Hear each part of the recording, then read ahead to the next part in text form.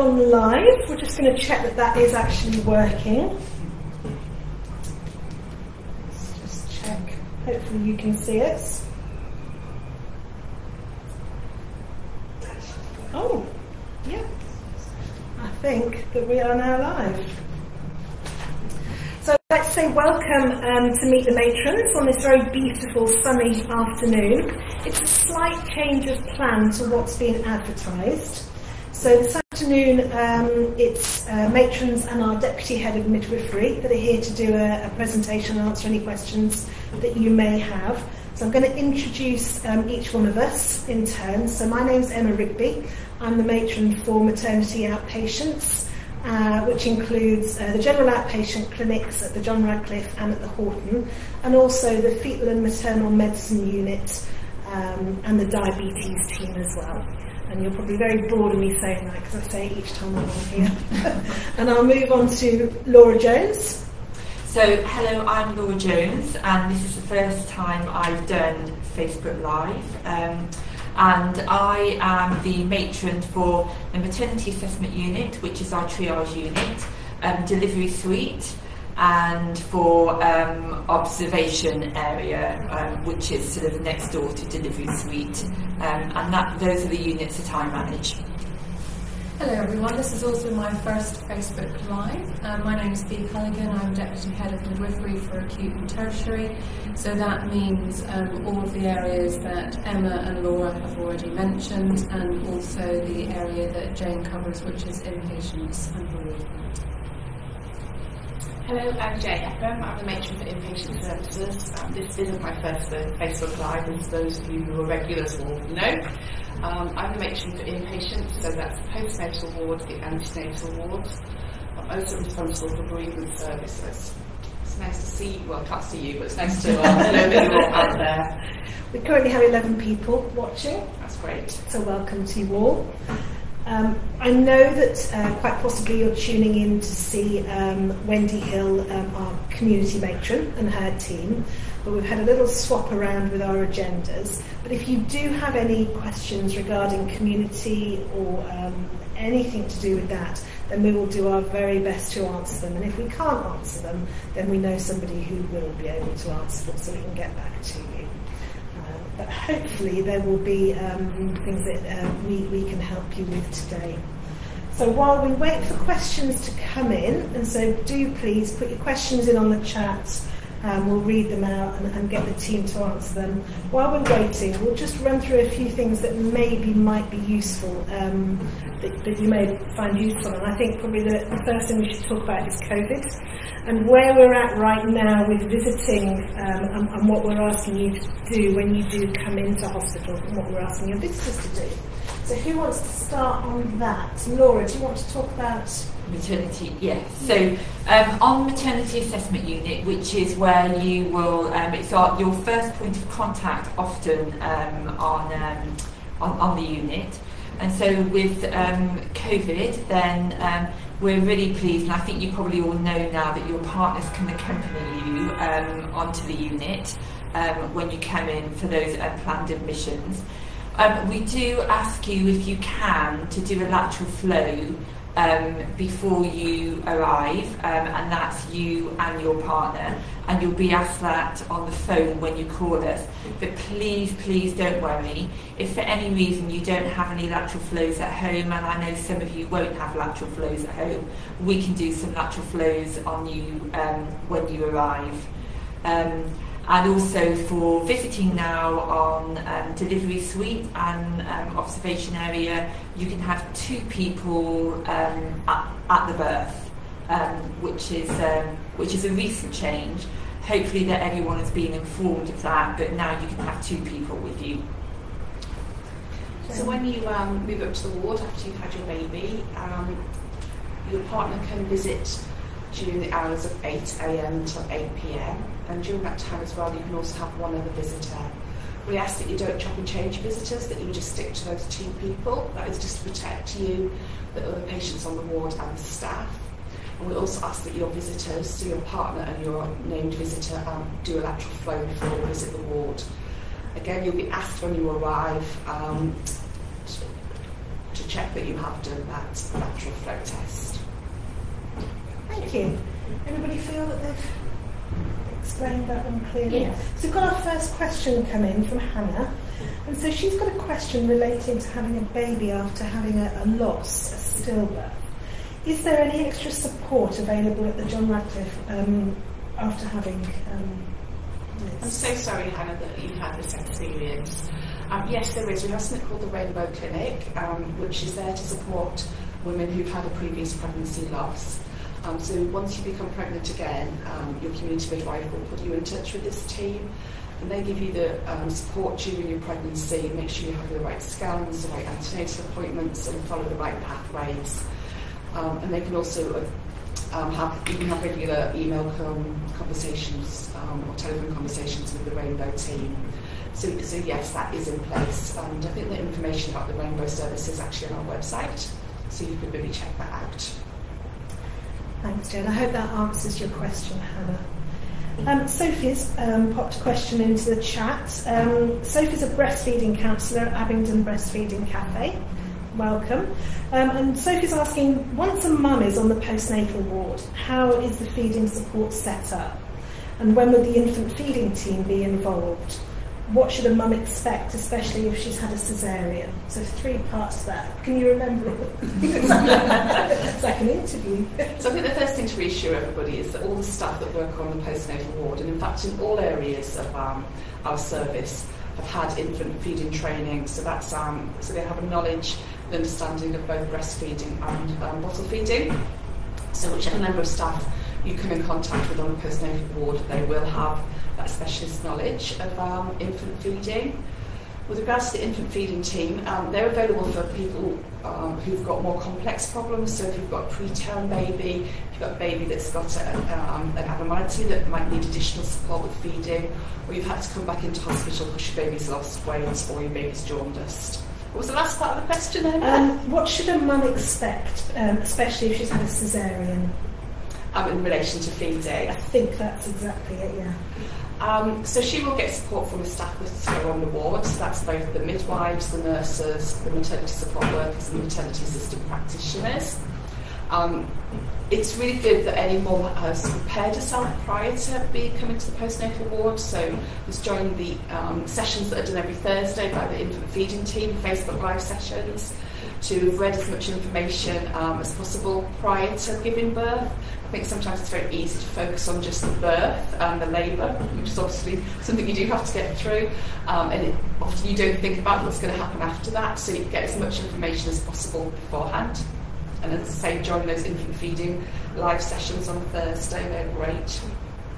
Um, have we not also had um, some special cots delivered that are go over the bed, so it's easier to, to lift baby in the if they have arrived? So on the postnatal ward, um, there are cots that um, do go over the beds rather than at the side of the bed. So yes, they are in place. So they do help mums that have had a C-section because often it's quite difficult to lift babies in and out of cots. And then during the day, you'll have your visitors and your partner. They, they can also support you.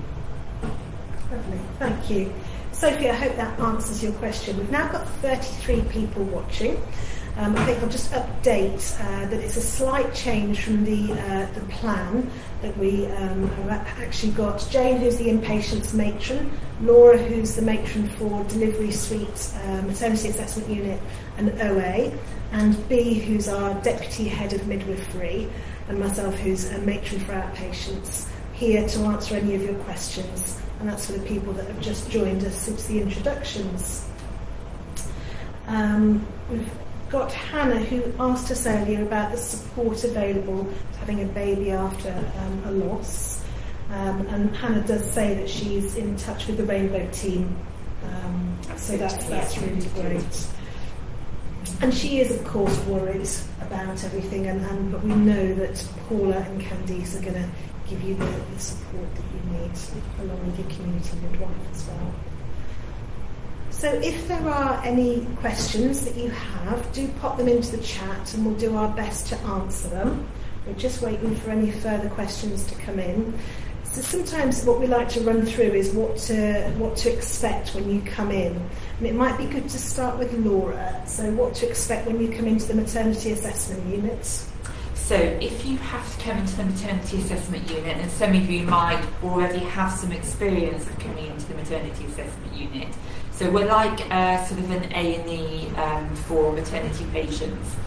Um, so the unit can get quite busy, especially sort of towards the afternoons when we get sort of the referrals from clinics and GPs.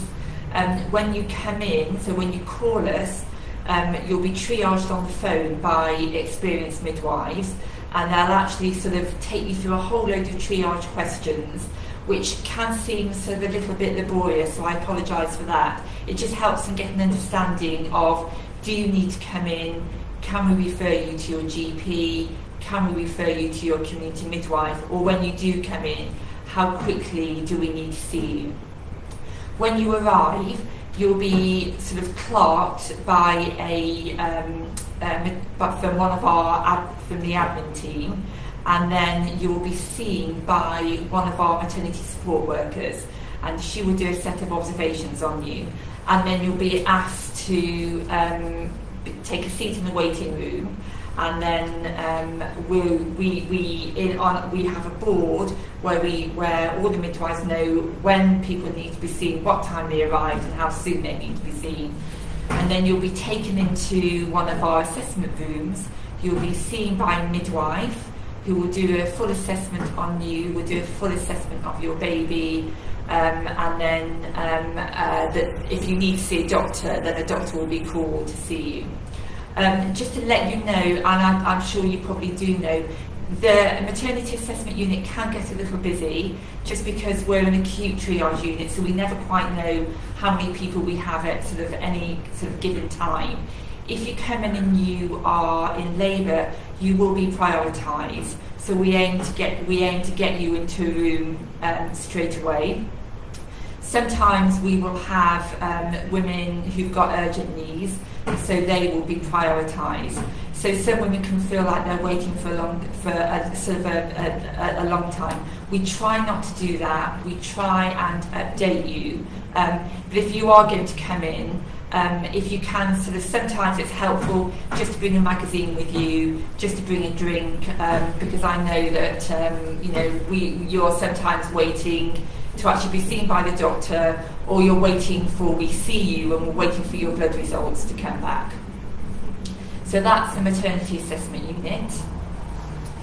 Jane, do you want to run through about what to expect in admission to the um, inpatient wards? Okay, so if you you could get admission um, admitted to the antenatal inpatient ward if you have a complication of your pregnancy and it's deemed safer for you and your baby to be actually inpatient. So the inpatient ward is on level six. Um, it's a 25 bedded ward. It also incorporates the addiction of Layla Bay. You could, your length of stay um, is hugely variable from one night to weeks, depending on the reason for your admission. The ward is run by midwives and support workers, and you'll be seen by a member of the medical team um, each day. Um, postnatally, it's a very big ward, the postnatal ward, there's 43 beds. Um, you'll be looked after by a team of midwives, nurses, support workers, um, and maternity assistant practitioners. There's also um, infant hearing screening team, there is discharge coordinators, ward clerks. Um, it's a very big team of staff that um, are responsible for your care. You could be in hospital for as short as one night, or depending on um, your recovery or needs of your baby, that could be extended for the number of days required. We aim to get most people home within around about 24 hours of admission, so most people stay for just one night. But um, if your baby is born early or has some um, additional needs, then you'll stay longer, um, such as antibiotics. Um, and if you've got some um, issues such as high blood pressure, again, you might need to stay a bit longer than 24 hours. Lovely, thank you. I've got a, um, a question coming from Lauren, who is just about to qualify as a hypnobirthing instructor. So, Well done. congratulations, Yes. fabulous. B, this might be a question for you. Um, Lauren's asking, is she able to display a flyer in NHS settings, or is it not an option? Okay, so that's a, really good question to ask, and it's a really good opportunity for us to explain um, our reasoning behind the answer I'm about to give. So effectively, if we're to display a poster within our settings, then that can be seen by the birthing families that use our services as an endorsement for that particular person doing that particular specialism. So we, we for that reason, don't display private uh, company posters or private business posters within our NHS settings. It's very important to us that the um, birthing families that use our service um, would do that research and make those decisions um, for themselves because each person will have an individual need as to what would work right for them and for their families, and so therefore we don't endorse particular people doing particular things. Thanks, B. Lauren, hopefully that answers your question, but uh, as we all said, many congratulations on your um, qualification.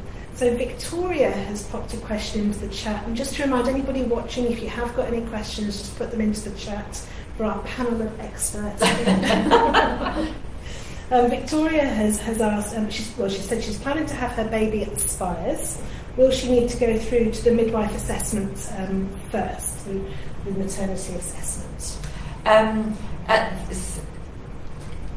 yes and no is, is, is, is, is the answer to that. So if you're if you're planning to have your baby on the spires, then absolutely, then you will call the spires, and they will um, they will triage you up there as to are are you ready to go in now? Can you wait at home? Do you want to go in to be assessed? Sometimes at the moment, if the spires if the spires are busy, um, then sometimes their calls may be diverted to MAU and then MAU will take the call. Uh, but normally you will call the spires and you'll go direct to the spires if you don't have any other issues. Lovely. So Victoria, hopefully that answers your question. Um, and Lauren has thanked for the answer B. That's great. We're up to date on our questions at the moment. Yeah. Nora, maybe I'd love you to talk about delivery suite. Thank you. That was my cue for delivery suite. Um, so delivery suite. So delivery suite is um, a, a, a, high sort of a high risk unit. So quite mostly, if you have any problems in your pregnancy, um, then you will often be advised to deliver on delivery suite. Or if you're requiring pain relief such as an epidural, then you'll be required to come to delivery suite. Um, so on delivery suite, you will get one-to-one care. So you'll have um, one midwife assigned to you. All the midwives do 11 and a half hour shifts. So they will be with you for the whole day. Um, so you, and then their shift changeover is at 8 o'clock. And then you'll have a midwife with you if you're labouring at night. You'll have a midwife with you for the whole night. So on delivery suite, we have um, I'm just trying to remember the rooms. I think we've got 12 rooms at the moment. Yeah, yeah so 12 rooms. Some rooms aren't in use, so I'm just trying to sort of visualise delivery suite as I'm speaking. So we have 12, 12 rooms that we can have 12 women in labour at any one time. Um, we have um, all staffed by, we staff by midwives, we have band 5, band 6, Band 7, we have a team of very experienced coordinators who run Delivery Suite. We also have a team of um, consultants, registrars, and junior doctors who staff Delivery Suite, and then we have a team of MS, MSWs. And when you come into Delivery Suite, so even if you're coming in and you are a high risk birth and you need an epidural, our ethos is to actually keep it as low risk as possible and to really encourage that sort of um, uh, lovely sort of um, nurturing um, birthing environment. So all the rooms have um, birthing balls in there um, and we're looking to order a whole load of new ones at the moment. Um, and we are looking at the room environment at the moment. So watch this space. So hopefully we are going to be actually doing some decorating work. Not you personally. Not me personally, but I, I, just need to let you know as you're on here, we do have a, a, a pool room on Delivery Suite, which at the moment is um, out of action. um, and we need to um, we need to get a new pool. So at the moment we're looking at ways of how we can um, raise money because they're extraordinarily expensive. So we are looking at um, ways we can access the trust money, and then we're also looking about how we as a team can actually raise some funding. So if anyone's interested and want to join us, we're looking at a sponsored cycle walk, walk cycle ride. So um, just thought I'd uh, put that out there. Um, we've also got um, uh, an order for rocking chairs for each of the rooms Yeah. that we're waiting to Yeah. have delivered. So and then we have bean bags and we have some um, sort of mattresses so that um, if you are there for the whole night or for the whole day and your partner needs us to take a rest, then we have facilities for that as well. Thank you, Laura. She just drop the cycle ride in there. oh, I, it's just a thought. It's just a thought. I was thinking of swim. but- Well, uh, Louise of MVP did say that she, we were talking about abseiling because we have a, a charity which abseils from the building, and Louise said that she'd be more than happy to do that with us. It might also be worth considering what you could bring in yourselves to um, make your sleep comfortable. You, you might want to bring your own cushions or pillows in, um, refreshments that you know will um, encourage you and entice you to, to get through your labour, um, things for your partner. Um, these are all things that you could just have a think about in advance to bring in to help with your comfort. So we can't do candles because of the live flame and the oxygen in the building, but you could have battery operated candles, little battery operated tea lights, that sort of thing. Anything to create that lovely home from home environment Yeah. would be welcomed. Lovely, thank you. A couple more questions have come in. So Nicola has um, said she's due a, a cesarean soon. Can her older children visit once she's on the ward, or are we still asking no children to visit? So at the moment, we're still being governed by the Trust's COVID restrictions in relation to visitors, um, which at the moment says that children can't visit. Um, so as it currently stands, then, then no, unfortunately, your children will, will need to wait until you get home, which hopefully will be quite quickly, um, in order to meet your new baby. Thanks, Jane. And uh, Leona has messaged us to say she's also hoping to birth on the Spires and she's due this week. She's had a low risk pregnancy but can't remember the policy in terms of going overdue. If she was to require an induction, would it mean that Spires is no longer an option? Um, if, if you required intervention for home induction, then the spires wouldn't be an option. Um, however, if, um, if, if it meant that she just needed to have her waters broken and everything was uneventful, then yes, she could use the um, spires. So it would be something you would need to discuss with your midwife when you came in for your induction. Um, up until the point of you actually coming in for induction, then yes, you can use the spires. so let's fingers crossed that you're going to Fingers labour imminently. Absolutely. So we're up to date with our questions at the moment. Let's see about that. Laura, I keep saying Laura, do you want to talk about, do you want to talk about the observation area? Yeah, so um, the observation area, um, which is it's um, we the observation area is where if you have if you're recovering from your cesarean section, you've had to go to theatre, or you have a, a, a, a, um, any time we're slightly worried about you, then observation area is um, a department that you might sort of visit. Um, and so that is, we have eight, nine, ten beds in there now. So we have two four bedded bays and then we have two side rooms.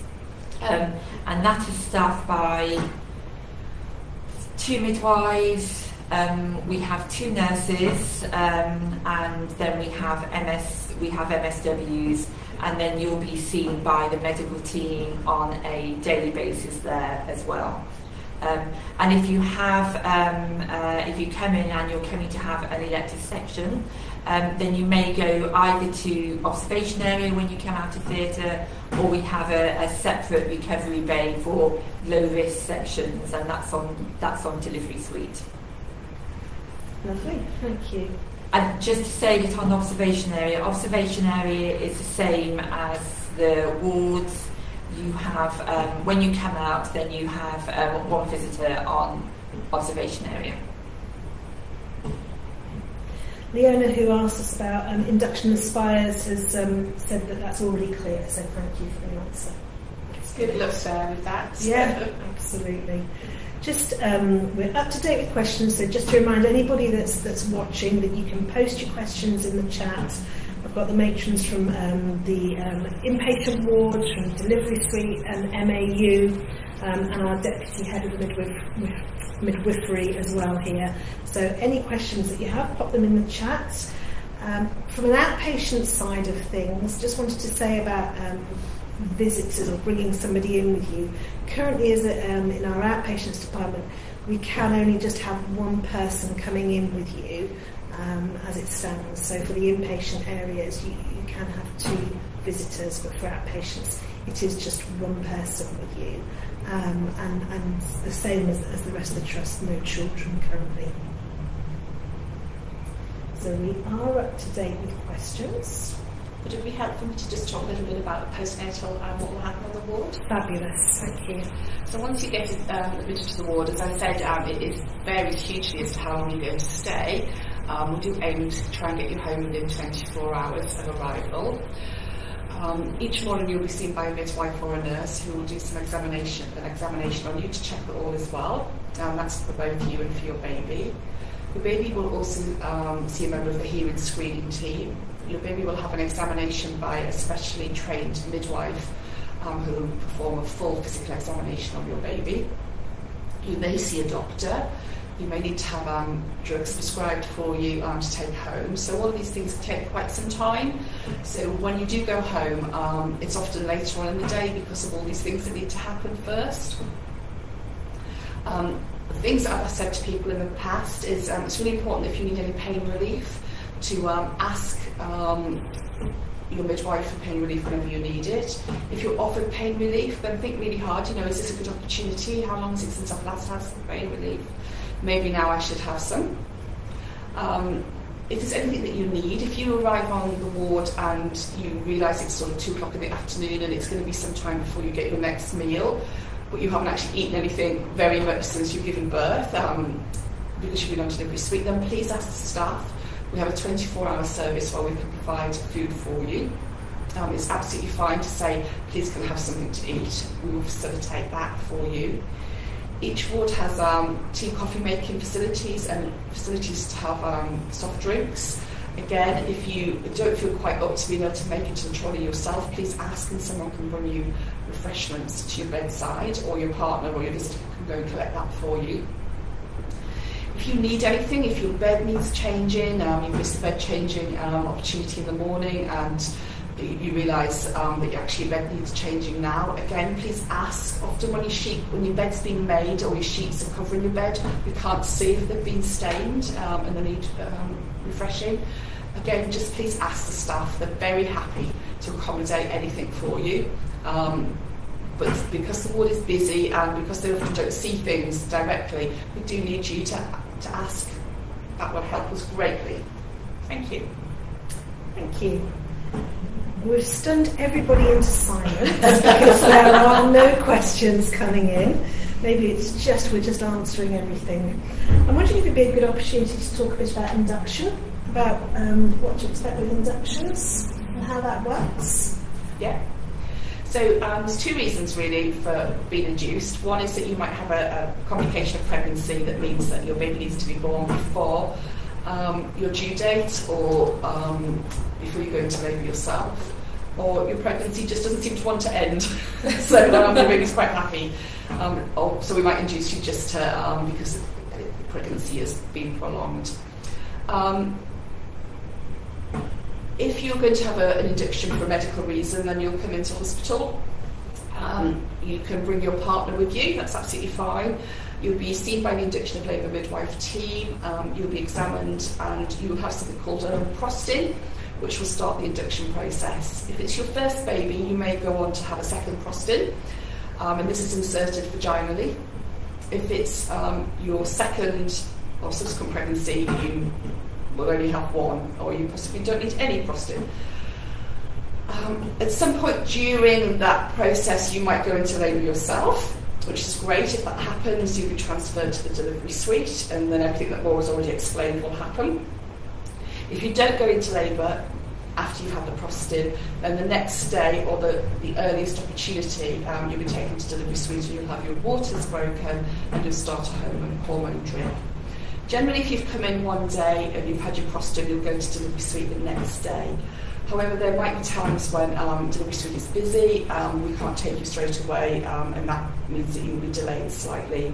What we um, envisage to do during that period of time is keep you updated, to let you know what's happening, um, and keep you informed about you know, length of time when we think that you might get transferred to delivery suite. Um, during the process, as I say, your partner can be with you, and your partner can stay with you up until 8 o'clock at night on the antenatal ward, and then um, he will need to leave you, and he will be contacted, or you will contact him if you go into labour overnight, because obviously he can then rejoin you, or he can come back at 8 o'clock the next morning and stay, he or she can stay with you the next day. Um, for um, post dates, so you've gone beyond 41 plus um, three days, and we're inducing you. The process is very similar. Um, in fact, it's probably that side of it is probably much the same. If you've got a very high risk pregnancy and they want to induce you, that might actually happen on delivery suite or observation area. Um, so you're already there. Um, otherwise, as I say, you're transferred once you go into labour or once we have a, an available slot to carry on the process. Um, you can take um, mild pain relief, so you can take paracetamol during the process. You can use birthing balls, you can move around, you can be as mobile as possible. Um, and you can eat and drink normally whilst you're on the antenatal ward, which is where the induction will take place. So please bring in snacks, um, drinks, anything that you, you would like to have. If you want to add anything else, Laura. It it was just talking about the sort of um, delivery suite rooms. You know, when when you get down to delivery suite, or when you come from an AU to delivery suite, you know, you can be there for quite a lengthy stay. So just to let you know that that room, those rooms are, are, are your rooms. So it's just we will accommodate anything we can accommodate to make those rooms comfortable for you. So anything really, anything you want to bring in that's going to remind you of home, going to make you feel more at home. We try and make them as homely as possible, but we can't disguise the fact that sometimes they are clinical rooms and we do need to have clinical equipment in them. But actually, this is it's your room, so we really would like you to take ownership of them. So if, if there's anything we can do to support you in that, we will do. And whatever you want to bring in, we're happy um, and we, we, we positively encourage that. And I think I spoke quite quickly about all the things that would happen. I think to just reassure you that at each stage it'll be discussed with you what's going to happen, what's going to happen next, to make sure that you understand what we um, are offering you and that you can give your consent for, for each stage to happen. So although I went through it very quickly, um, we will be spending time with you to explain everything at each stage with you when you're actually with us. Thank you. So Sophie's um, popped a, a, question into the chat just asking about the balloon catheter induction. She's um, had one of the leaflets that explains about this um, and is just wondering the, the difference between the balloon catheter induction and the prostin that we discussed. Okay, so from this week, um, if it's your first baby, then we're offering um, prostin inductions because the evidence that we've had um, given to us more recently has suggested that the balloon catheters actually prolong your labour. Um, so you, you're in labour longer, you're in, in hospital longer. So we've taken the decision that we're going to move to Prostin, which we've used in the past, and we've used very successfully in the past. And that's for all um, pregnancies when it's your first baby. We're actually advocating Prostin for second and subsequent pregnancies where applicable, However, we're very happy to discuss the use of balloon um, inductions if it's your second or subsequent pregnancy. And that's something you can do with the induction of labour midwife or your community midwife. We're updating our publications at the moment, so there are some leaflets out there that's still advocating balloon induction. Um, and we just, um, I think the, the new leaflet's are ready to go. The new leaflets, the new leaflets should be ready to go, yeah. And there are some, we, if, if Sophie would like us to, there is um, information that we can send to her which explains the difference between the prostin and Foley as well. Excellent. I think the big difference, um, the big, the big difference you probably need to be aware of is that with the with the catheter, you could have the catheter inserted and then go home until either you went into labour or until we called you back to delivery suite. With the prostin, you need to stay in hospital um, until you go into labour or into transfer um, into hospital. So, I'm sorry, to delivery suite. So we've shared all this information with community midwives. Um, I think it's because we're just in that transition period at the moment, so the information isn't out there. Um, all the community midwives um, have been made aware of the changes and we'll be sharing that with people. So I think if you could just bear with us over the next week or two whilst we make the transition, Um, but again, as I said previously, your community midwife or your midwife is going to be responsible for your induction We'll go through each stage with you explain everything to you, and make sure you have all the options so you can make the choice that you want. And one of the big drivers of the peak pandemic was for, for, for the women to stay out of hospital for as, as much as possible and as much as safe to do, and the Foley catheter insertion for induction of labour gave us an opportunity to do that. Thank you. Thank you. So, any questions, Sophie, if you want an update, do contact your community midwife.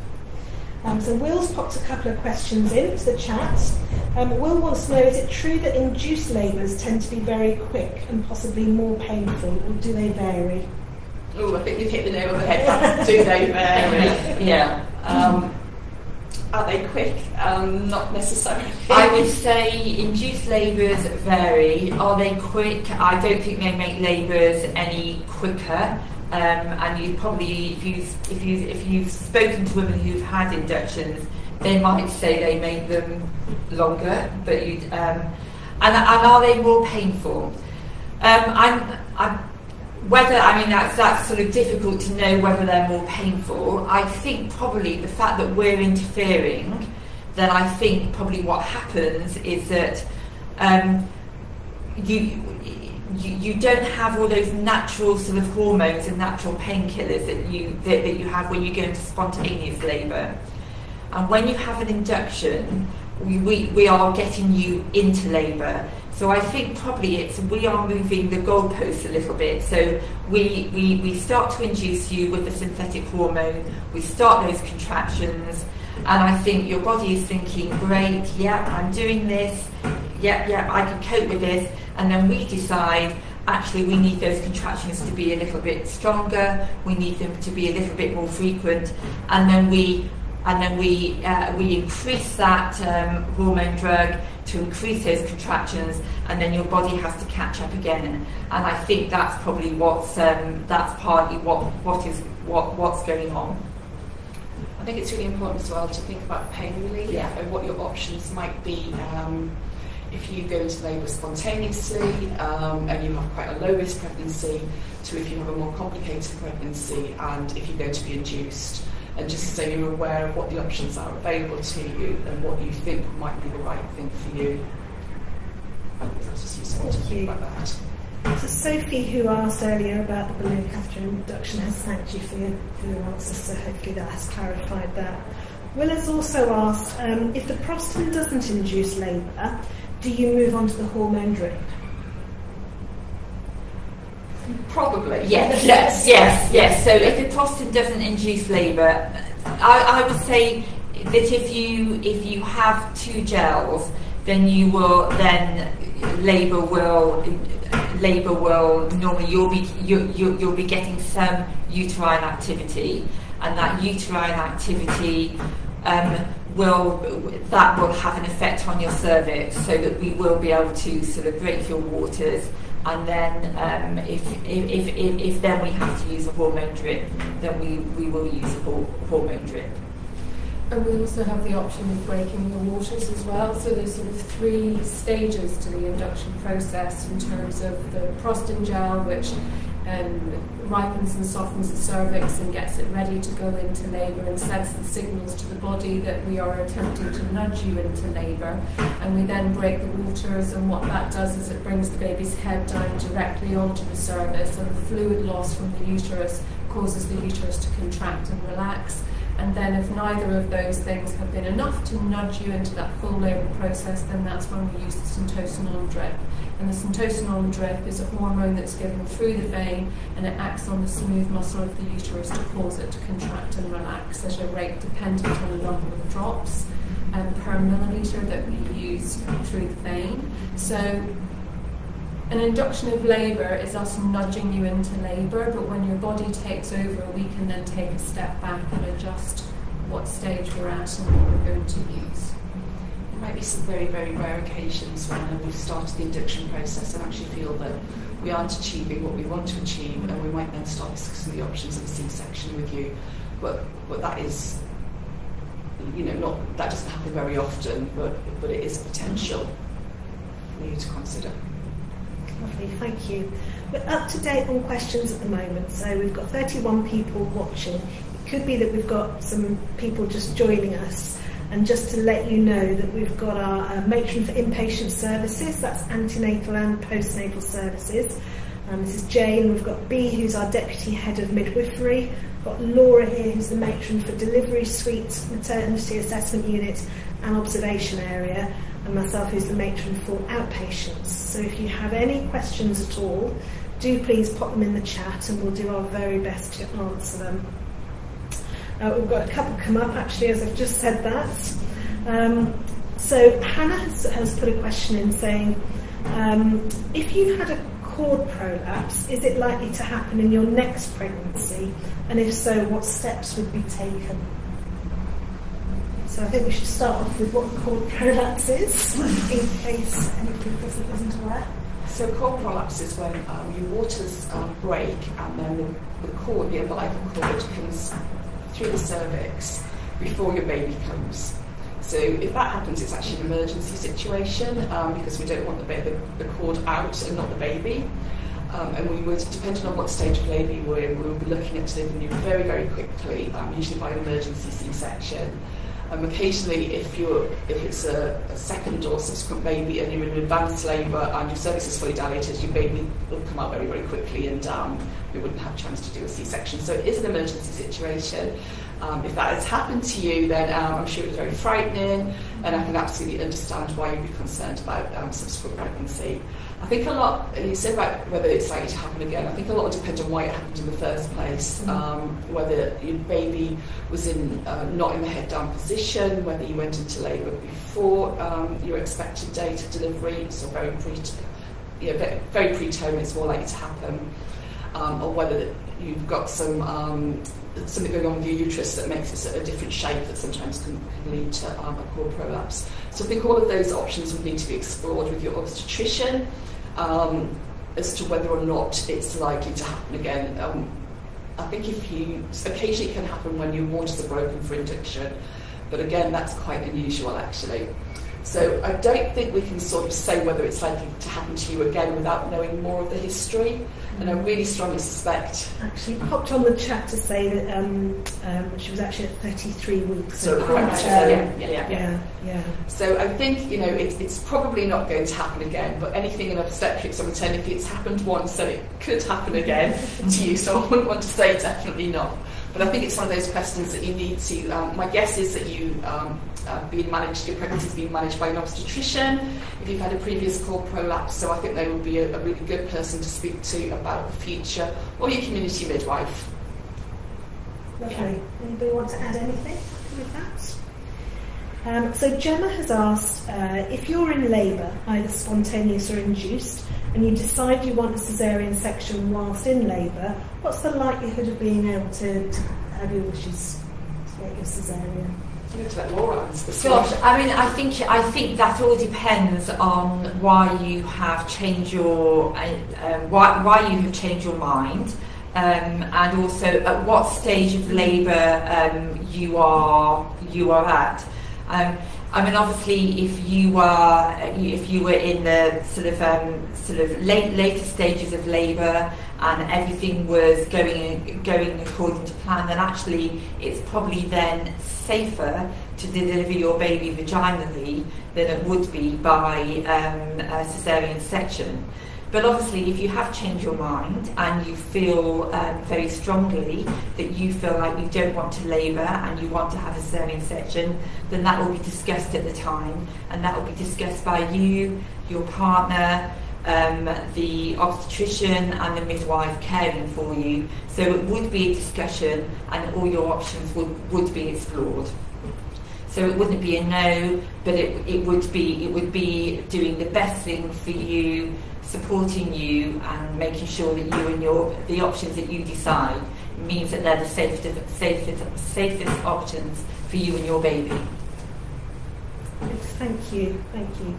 So Hannah, who asked us the questions about that, has, um, has thanked you for the answer. She's actually going to speak to a consultant. She's got a name consultant, so she's going to speak um, speak to him. Lovely. We're up to date with questions, so we am aware that we're down to our last 15 minutes. So do pop your questions in the chat if there is anything you do want to ask about um, postnatal, antenatal admissions, um, inpatient care, uh, delivery, uh, suite issues, MAU questions. Um, pop them into the chat. And Gemma's just thanked you for the answer about the caesarean section. So we're up to date with questions just now. I think it'd be good to go um, around a team and just ask them, um, put them on the spot a little bit, and say if you were going to give one little bit of advice or one bit of information to, to um, the people that are watching about coming in, is there anything that you would advise, something special to bring in with them or? I, I, for me, for postnatal, I think um, have as much information as you possibly can about feeding. I think that, as I said before, you, when you're pregnant, you, you're thinking about the labour and the birth and obviously welcoming this beautiful baby into the world. And, and often it's quite difficult to think beyond the birth. So I think to get as much information as possible about um, feeding would be really, really good. Be really sure about what you want and what you need in order to achieve that. I noticed um, Laura mentioned um, very early on today's um, conversations about one-to-one care in labour when you're on the, the delivery suite and you're during labour, then you have one midwife assigned to you um, exclusively for that length of time. When you move to the postnatal ward, you'll have one midwife or nurse assigned to you, and she'll also be assigned. She'll also have another of the seven people that she's responsible for, mums and babies. So you won't be getting one-to-one care on the postnatal ward. You will have to wait for help um, because it won't be instantaneous like it is on the delivery suite. So again, think about that, think about mechanisms of coping, um, some strategies in place whilst you're waiting for the support that you need. That would be my advice. Thanks, Jane. B. For me, it was two. Can I do two? You can do two. Okay. So um, your little, the little bag that you bring in, be really organised about what you put into that bag because it will make that inpatient stay, that labour and delivery, much less stressful if you know that you've got the nappies that you want to use, if you know you, have got that special little vest that you want little one put in, um, that makes it really special. Um, also, just um, from personal memory, one of the things, okay, one of the things that was really helpful is um, we had a dog at home, so the first vest that my daughter wore went home to the dog um, so that the pet could become used to those smells. And um, that interaction then when um, when I brought my daughter home with, with our dog was um, was really lovely actually. And one 18 19 years later I still remember. Um, and then those things that make that that nest and that nice place to be in labour and afterwards. So bringing in um, something from home that means something special to you, bringing in some little you know, battery tea light candles and making that little nest, making it a special place. So those are mine. That was three actually. Oh, we have three though, it's fine. Yeah. As it's your first Facebook. I know, not, not following the rules. Sorry, Emma. Laura. And I would say, if you're coming on to delivery suite, just keep a really open mind. Um, when you when you get onto delivery suite, babies have a habit of doing what they want to do, and they don't they don't want to listen to us at times. so I would say have your birth plan, bring your birth plan in, discuss it with your midwife so that she's aware of what your birth plan is And then as, your, as, as a labour progresses, you can make adaptations to that birth plan. And then I would say just ask questions. Anything that comes into mind when you're with your midwife, when you're in the delivery room, ask those questions and just keep a discussion going because we will support you um, in, in, in, in, in what you want what you, and what you need. Um, but just have that really open mind. And if you have that birth plan, then just discuss it as soon as you get onto delivery suite with your midwife or when you're in on MAU and just share that information with us. We will read it if it's in your in your notes, but actually having that discussion means that if things do change, then we can adapt your birth plan to that change. I think that's a good point as well to take about things do change. So information or advice you might be given on one day, the next day different information or advice might be given. It's not because the information on day one was incorrect, it's just the situation has changed and things have moved on. I think often people think they're getting, um, they use the word conflicting advice or different advice. It is different, but it's because we've moved on in time and the situation has changed. So I think just be mindful that you will be given different information depending on where you are in your journey. And I think that applies to labour as well as the postnatal yeah. mm-hmm. experience. Absolutely. I think what I'd say is um, ask the questions that are in your mind. There is never a daft question to mm-hmm. ask at any time. There's never a stupid question. If you if something is worrying you at any point in your pregnancy or postnatal period, if something's concerning you, then ask. Call into MAU, ask your community midwife, but there is always someone that will be able to yeah. answer your questions, so never feel afraid to ask. And I would say sometimes we can seem really busy and we're rushing around, but I, and, and, sometimes it's really difficult because I you often hear women saying, "Oh, I didn't want to, I didn't want to ask because you were too busy." Please, please ask because we, we want to be able to reassure you and to answer your questions. And I know that we seem busy at times, but you know we, we're more than happy to stop and, um, and, and, and, and have a discussion with you. And nobody knows you better than you. And um, often, you know, if you feel something or want to share something or discuss something, then please do that because we, we might not pick up on those vibes, we might not recognise that that's something that's important to you. So we need you to be open and honest and share what you're thinking and feeling with us um, at the time, and then we can do something about it. Um, yeah, that, that's really that would be helpful if you could do that or think about that. Thank you. We're upping our viewers as we're going along. We've got 35 people watching now. Um, so Will has popped a question in. Um, could you explain what to expect in terms of postnatal recovery?